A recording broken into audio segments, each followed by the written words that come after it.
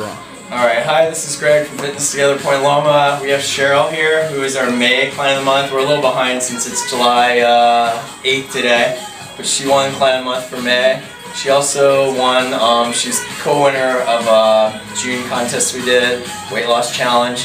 But uh, for her winnings, she got a $50 gift certificate for Corvette Diner, who she's going to take, I believe, her uh, like nieces or nephews. She's not she's not gonna eat fifty dollars worth of food herself there.